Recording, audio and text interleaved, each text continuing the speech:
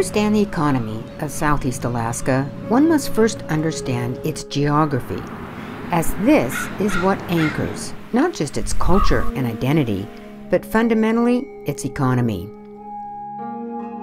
Where pedestrians in the lower 48 cities walk among looming skyscrapers, Southeast Alaskans live beneath the towering peaks of the Coast Mountain Range. The Coast Range begins in the northern part of southeast Alaska, at the southern end of the St. Elias Mountains, just north of Juneau, and stretches south, jutting upward along the sea coast of the entire Alaskan Panhandle. The Coast Mountains derives its name from its proximity to the coast. Or perhaps I should say, is actually the very coast itself as Southeast Alaska's towns and boroughs sit atop the range's peaks. The islands that make up Southeast Alaska are actually the submerged sections of the Coast Range.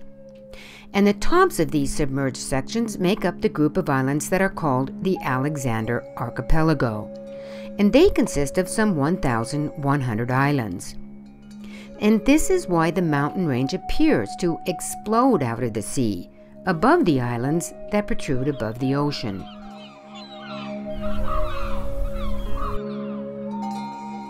Alaskans use the deep and narrow channels that meander among the islands, where many of the towns lie. Some of these passageways make up part of the Inside Passage, the route of the Alaska Marine Highway System. The Marine Highway System is the only roadway, other than flight, that provides the means for traveling between the towns in southeast Alaska. Much of the islands that make up the Alexander Archipelago are remote and wild, and the vast majority are part of the Tongass National Forest. It is large enough, some 17 million acres, to preserve many endangered fauna and flora.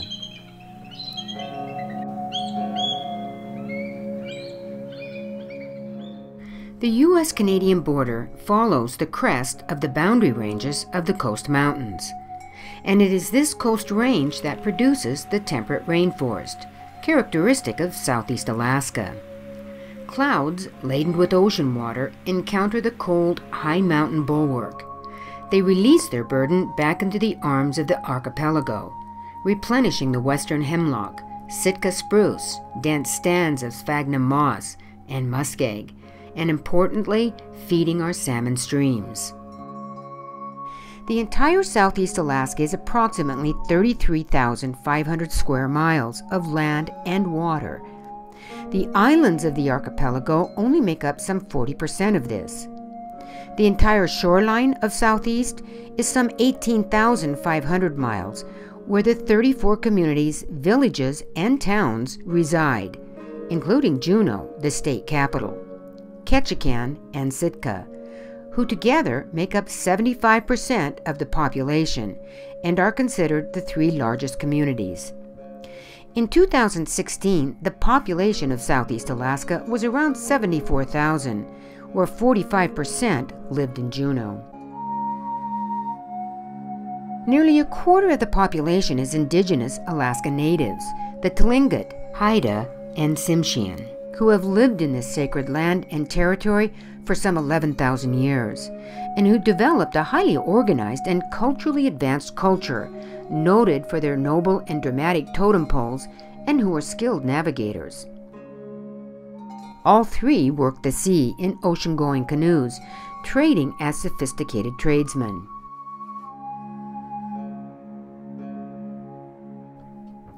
Only by understanding this unique intermingling of sea and mountains, forest and muskeg where the southeast towns survive on the rocky slopes of remote submerged mountain peaks, and whose only highway is the marine highway, can anyone appreciate and even understand the importance of the maritime sector to all the culture and people who live here now.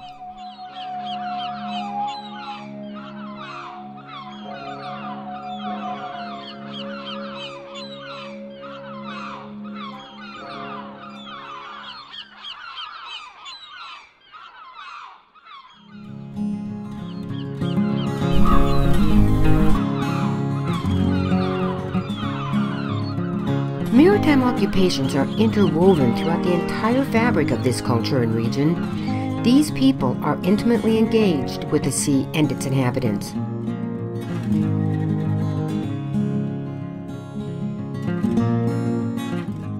But they must live mindful of the coast mountains above for its role in southeast weather.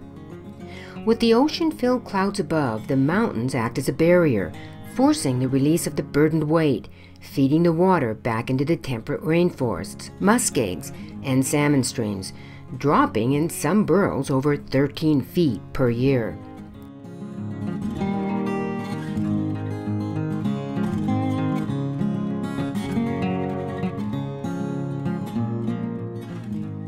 But on a summer sunny day in southeast Alaska, the sun comes a hollering overhead, and the blues of the incessant rains take on new meaning. The blues and greens awaken in a stunning display, and if you should visit Southeast, these are the colors that you will remember. The greens of our temperate rainforests, and the blues of the canals, channels, and open ocean, dotted with fishing boats, tugboats, freighters, and of course, summer cruise ships. As one would expect within such a geography, with no roads between the islands of the Alexander Archipelago, Southeast Alaskans have by far more home ported vessels than any other region in the state of Alaska. Only one of many ways that the maritime culture is intimately interwoven into the Southeast Alaskan soul. According to the report Trends and Opportunities in the Alaska Maritime Industrial Support Sector, of the 9,400 vessels greater than 28 feet in Alaskan waters in 2014, 81% were homeported in the state of Alaska. But of that 81%, more than 42% were homeported in southeast Alaska. Cook Inlet was the next largest region, with only 21%, followed by Prince William Sound, who only contributed 13%.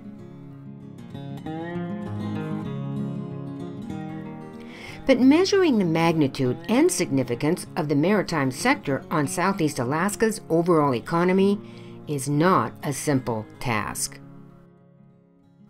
The reason is that there is no maritime sector in the U.S. Bureau of Economic Analysis or at the U.S. Bureau of Labor Statistics, who both rely on the North American Industry Classification System, NAICS, the standard used by federal statistical agencies in classifying business establishments for the purpose of collecting, analyzing, and publishing statistical data related to the United States business economy. These codes are used to aggregate employment, earnings, and business categories. But these categories do not include a maritime category or sector. For example, NAICS codes 31 to 33 covers the manufacturing sector, but this sector also includes food manufacturing, apparel manufacturing, chemical manufacturing, aerospace products and parts manufacturing. Buried in all these categories, you will find ship and boat building. When all maritime employment or mixed maritime employment is buried within the 12 standard categories, this is what it looks like. This report would not inform the reader of the role or importance of the maritime sector for the state of Alaska, or for the regions for which this category is a main economic driver. In fact, one might be led to believe that the only element to the maritime sector is the seafood sector, which, according to this table, comes in third in total earnings and fourth in total employment. The seafood sector includes commercial fishing, seafood processing, and commercial fisheries management, and even here, the maritime sector has not been adequately accounted for.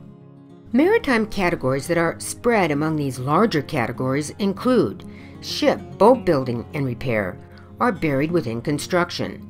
Other items include pile driving or breakwater and dock repair. Marinas and boat dealers or even mixed marine recreation like sports fishing, kayaking, and even sporting goods stores are buried within retail or even all other.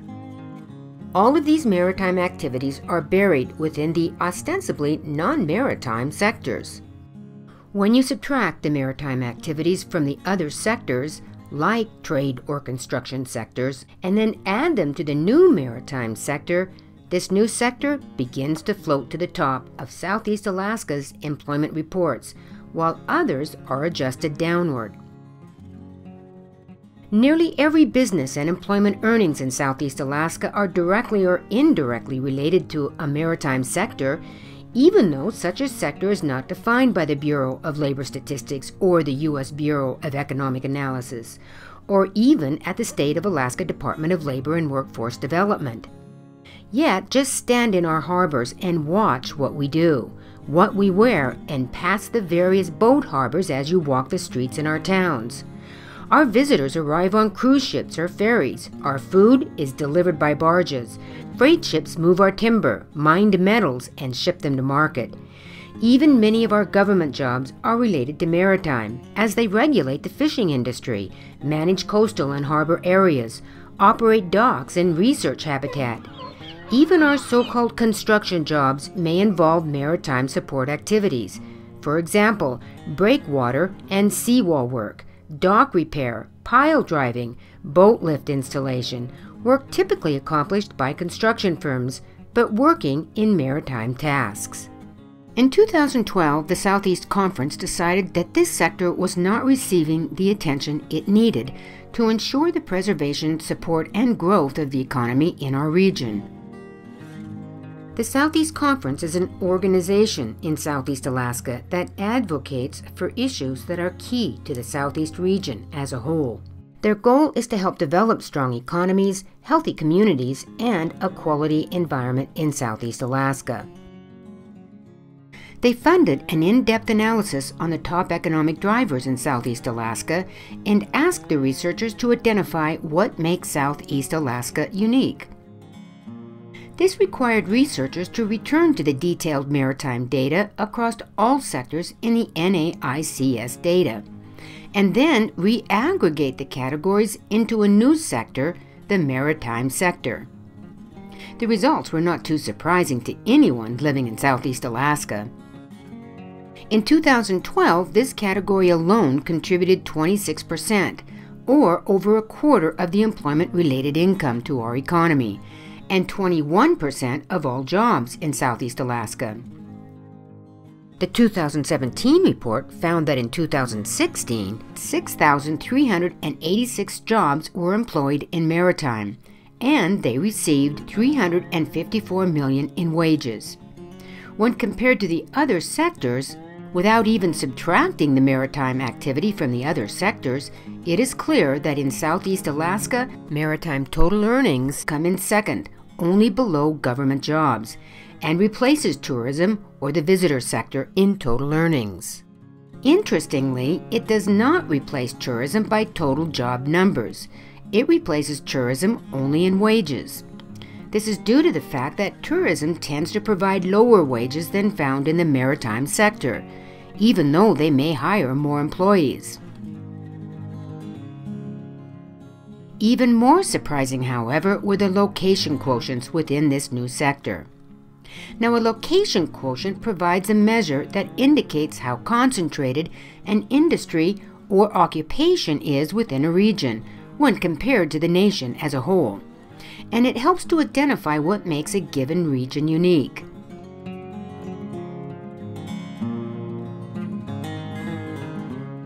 Any industry with a quotient greater than 1 is considered a concentrated industry unique to a region. Our maritime categories were off the charts. The private maritime sector, or non government jobs, were found to be 49 times more prevalent than in the U.S. as a whole, and commercial fishing was 95 times more prevalent. And our region's maritime businesses were 35 times more concentrated or specialized in Southeast Alaska. Quoting the Southeast Conference Executive Director in 2012, Shelley Wright, We are a maritime economy. It is what most marks our identity and what fuels our economic engine. Our maritime economy permeates into every aspect of our economy and includes tourism jobs and fishing jobs, government jobs, and natural resource development. Maritime sector jobs are referred to as blue jobs, as they are related to the ocean, and they are broken into a private and public sector. The private sector was by far the greater contributor, making up 75% of the total public and private maritime sector earnings. The private sector employee earnings in Southeast Alaska accounted for 30% of all Southeast Alaska private sector employment income and includes jobs like commercial fishermen and those employed by seafood plants, barge and marine freight services, whale watching, and other ocean based excursions, charter fishing, marinas, boat dealers, and ship and boat building, and repair craftsmen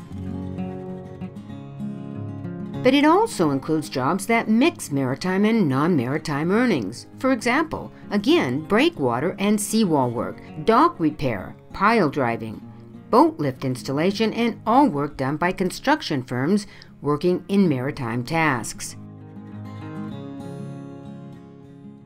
But a large portion of the private maritime sector is composed of the maritime industrial sector, or MIS.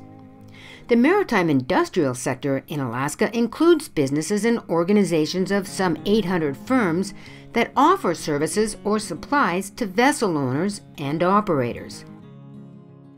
The largest concentration of these types of businesses in the MIS sector is in southeast Alaska, with the next largest in Cook Inlet and then Kodiak.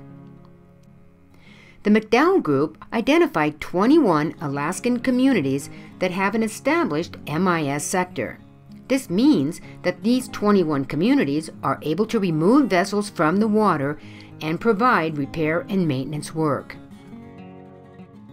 Vigor Industrial is the leading provider of shipbuilding, ship repair, and complex fabrication in the Pacific Northwest and Alaska, and who build and repair fishing boats, fireboats, tugs, barges, ferries, and other ships, and maintains the largest dry dock facilities in southeast Alaska.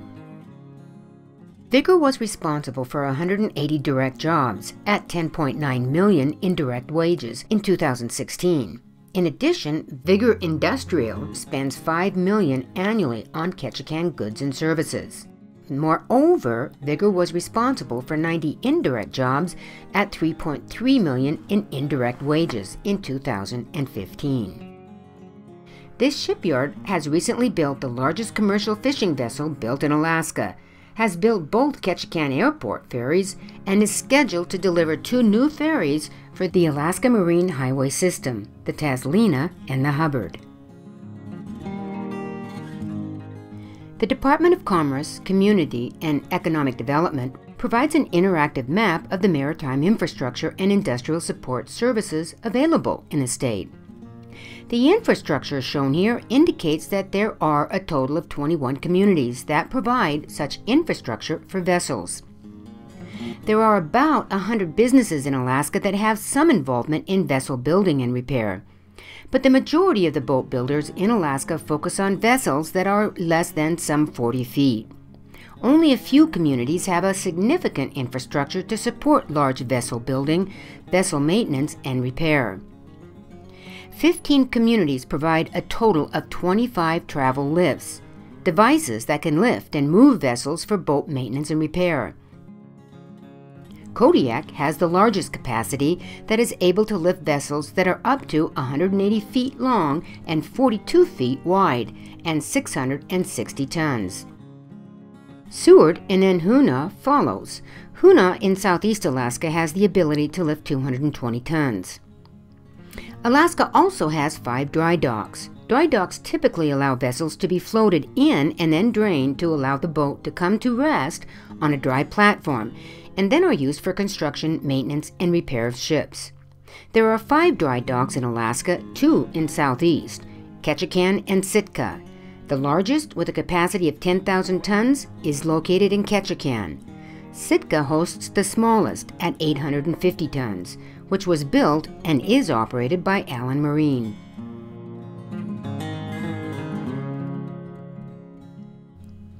We now turn to the communities who provide maritime industrial services, and this varies significantly. We can view the services in both Kodiak and Seward. In southeast Alaska, we have Ketchikan, Sitka, and Wrangell. These are the towns who have the best developed MIS services in the state.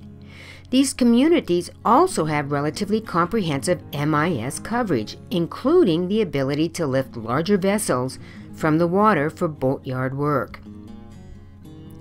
All of our maritime communities in Alaska rely heavily on the maritime industry for maintaining vessels that support the transportation of our community's goods and maintain their commercial fishing fleets, encourage tourism, and supports the marine highway system fleets as well.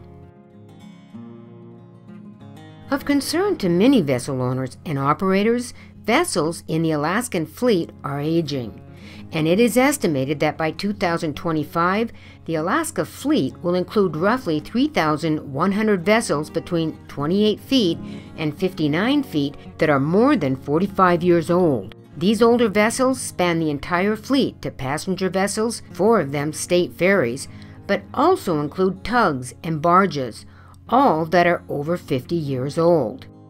Many of them are commercial fishing vessels.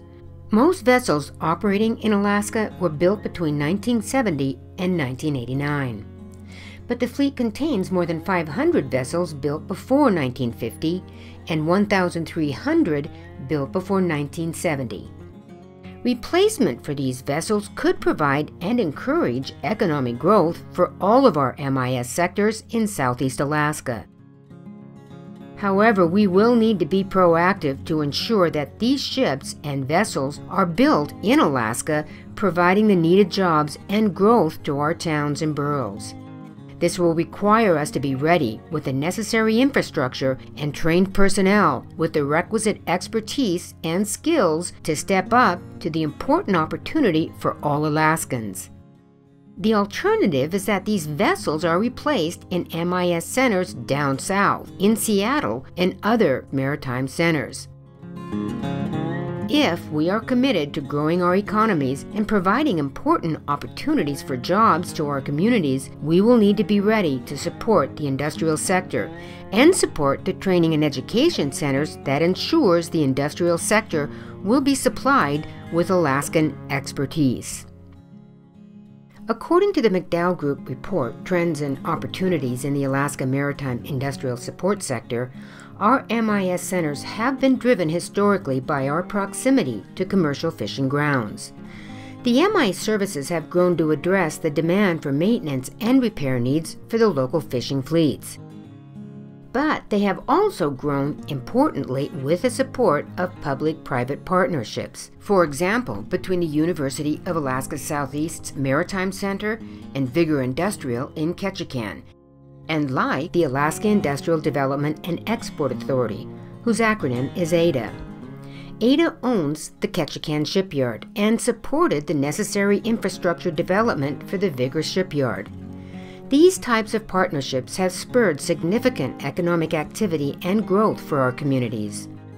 According to the AIDEA website, and I quote, AIDEA is a public corporation of the state of Alaska, created in 1967 by the Alaska legislature in the interest of promoting the health, security, and general welfare of all the people of the state, and a public purpose to increase job opportunities and otherwise to encourage the economic growth of the state. Unquote.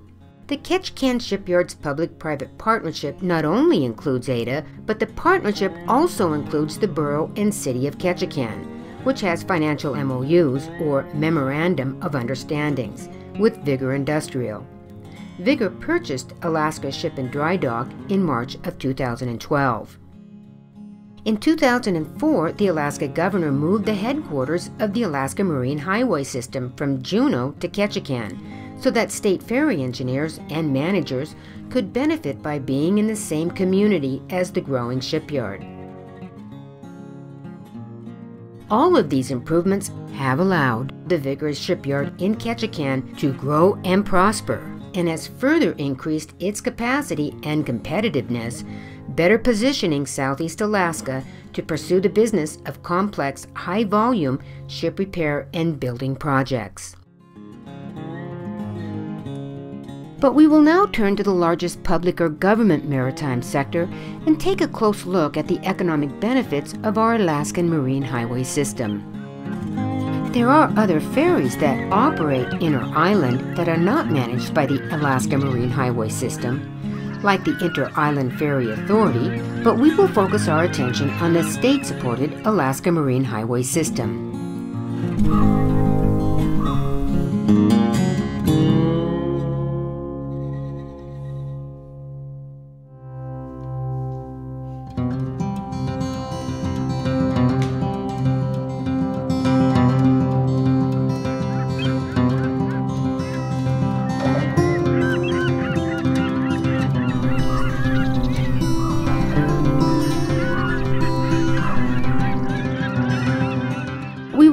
Turn to the largest public or government maritime sector and take a close look at the economic benefits of our Alaskan Marine Highway System. The largest contributor by far to the maritime public sector is Alaska's Marine Highway System, the primary highway for all in Southeast Alaska.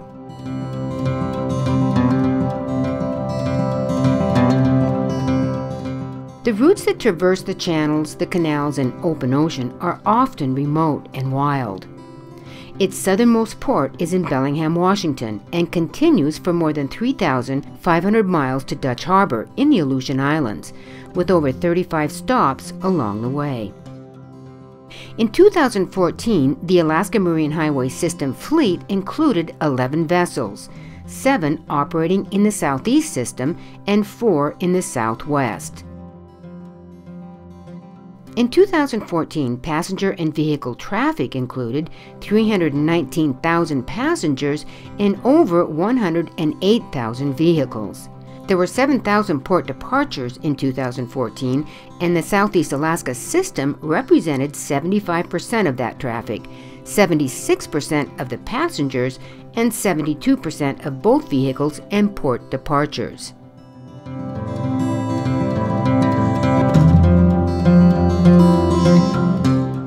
Ferries transport not just people and vehicles, but freight and goods and services to the communities throughout Alaska. But measuring the impact of the ferry system on Southeast Alaska's economic well-being is comparable to measuring the impact of the network of freeways and highways on the economic well-being and growth to the lower 48. And this means that the ferry service in Southeast Alaska is fundamentally part of our infrastructure. There are significant benefits of supplying ferry service to all Alaskans, just as the roadway network have many benefits for the states in the lower 48. And these positive benefits accrue to Alaskans as a whole. In Alaska, such an infrastructure encourages tourism, which increases income to Alaskans. It decreases the cost in transportation when moving goods to and from markets, creating more competitive businesses, thereby encouraging economic growth. And it provides for a more mobile labor force who is able to move freely and at a lower cost among the islands. Infrastructure development is the fuel for the engine of economic growth. The infrastructure provided by the Alaska Marine Highway System supports and increases economic growth and as such increases tax revenue, enhances labor markets and new jobs but it also provides connectivity and social cohesion among and across communities. An improved transportation network improves livelihoods by providing important services, like healthcare, on neighboring islands. Here are just a few of the ways that Southeast Alaskans actually benefit from the Alaska Marine Highway System. They carry tourists and visitors to the state who spend millions on hotels, dining, and recreation, creating jobs and income for Alaskans. They provide transportation for residents to purchase goods and services, including health care and other necessities that are not provided by their own local stores and communities. They provide a means for fishermen to move seafood to market and act as a transport for building materials and machinery to villages and towns. They carry cargo worth millions of dollars and more than 100,000 vehicles annually. And equally important, they act as a means that connect communities for social and cultural enhancement, like high school basketball games, cultural gatherings, college fairs, celebrations, festivals, and funerals, encouraging social cohesion within and among our communities. The Alaska Marine Highway System is our roadway that without it, most islands in the Alexander Archipelago would remain isolated and without critical services. Without the Alaska Marine Highway System or the Inter Island Ferry Authority, it would be cost prohibitive to move people around or obtain needed goods and services required for economic growth and for many, just plain sustenance. However, Alaska's marine highway system cannot be considered a profit generating business when viewed as a private business. The Alaska Marine Highway System has required continued ongoing state fiscal support. That included the state's general fund investment of 117 million in 2014. The ferry system operates in the red financially but it is also critical to understand its total social benefits to Alaskans as a whole. Consider the economic impacts of the Alaska Marine Highway system that ripple throughout the Southeast as well as throughout our state. According to a 2014 study, The Economic Impacts of the Alaska Marine Highway System, they found that for every dollar spent on the Alaska Marine Highway System yielded an economic return of over $2. This amounts to a 2 to 1 investment for the state. Though the Alaska Marine Highway System operates in the red, it does not operate in the red when viewed as a social good. The total social benefits far exceed its social costs. And a large number of the ferry passengers support the growing industry of tourism. That number has been growing, and in 2016, in spite of the many maritime sector's jobs that did decline, including a very bad year in 2016 for the seafood sector, the worst year in over a decade, tourism itself grew. In fact, tourism is booming. 2017 experienced record numbers for cruise ships and reflected increased opportunities for many jobs and improved spending in all of Southeast Alaska. The tourism and visitors sector, with the support of our ferries, acted as a life preserver for our economy in 2017. Here are just a few of the benefits documented in the McDowell Group report. The Alaska Marine Highway employees reside in 44 different Alaska communities. Ketchikan resident employees were the largest at 318, followed closely by Juneau residents at 297. Both Ketchikan and Juneau accounted for 60% of the employees working for the Alaska Marine Highway System. 100 million in wages and benefits were paid to Alaskans in 2014. Ketchikan resident employees received the largest amount, followed closely by Juneau residents. The Alaska Marine Highway System spent in operation spending about $46 million with Alaska businesses. 65% was spent in Southeast. Juneau received the largest at 29 million, followed by Cordova, Anchorage, and Ketchikan, each which received $4 million. But it does not stop there. 94% of all capital spending by the Alaska Marine Highway System was spent in Southeast Alaska. Ketchikan alone represented 81% of Alaska Highway Marine System capital expenditures from shipbuilding and repair facilities at Vigor. South Central accounted for only 4%, and all of the regions accounted for 2%. Clearly, Southeast Alaska, when compared to Southwest and South Central Alaska, was by far more heavily engaged, not just as customers of the Alaska Marine Highway System, but as wage earners as well. This helps to explain why the Marine Highway System is not just a vital part of Alaska's transportation infrastructure, it also makes clear that the returns to Alaskans far outweigh the current costs that even include continued ongoing state fiscal support. But perhaps it is best to hear it from Southeast Alaskans themselves. Here are just a few of the personal stories of how we in the Southeast benefit from the ferries and why it is so important to our way of life. As provided by the Southeast Conference and produced by the Raincoast Data, here it is from Alaskans themselves.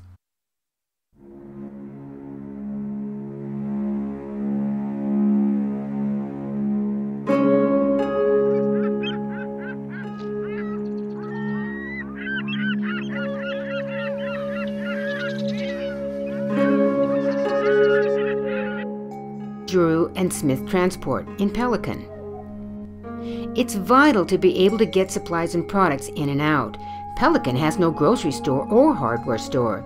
We pick up their orders from Juneau, process them, and bring them out on the ferry. We get out there and the whole town shows up. In Southeast, the ferry is a necessity. It's a way of life. Our football season starts mid August, and we are moving kids all the way through May. If there's a ferry that goes, that's how we go. There is no funding at all in our district for the students to travel. They have to fundraise everything. If we can't take the ferry, it knocks down the number of kids who can travel. The more we can use the ferry, the more kids get to participate. Kathy Messing, Activities Assistant, Thunder Mountain High School in Juneau. And here's from Kenneth, the Hoonah mayor. From an Alaska Native cultural side, we have events that require gatherings of clans and family persons. The ferry allows for transportation to get all of those people together, and it is our method to go and visit extended family members, and vice versa. Hoonah is a rural community, and we see Juneau and Sitka as hubs. We use the ferry to connect with our state and federal government, to access medical care and access the commercial sector, the shops and services that are not available in Hoonah. Here is Gavin Hudson, Tribal Council member in Metlakatla. The Lituya ferry is our direct line to Ketchikan in any weather. It gives us access to the hospital. It can be life and death in terms of medical travel. A box of Cheerios here costs $9. To make their dollars stretch further, a lot of people go grocery shopping in Ketchikan because the prices are a lot better there. The Lituya plays a huge economic role between Ketchikan and Metlakatla. Ketchikan's economy is infused with dollars from Metlakatla, and Metlakatlans enjoy the savings they get in Ketchikan. The Alaska Marine Highway is our highway. It's our trade route. We had a huge blizzard, and my two year old son was diagnosed with a very bad case of appendicitis. The doctor called the Coast Guard, but the Coast Guard couldn't fly. The ferry turned around and redocked in Haines. I don't know what would have happened without the ferry.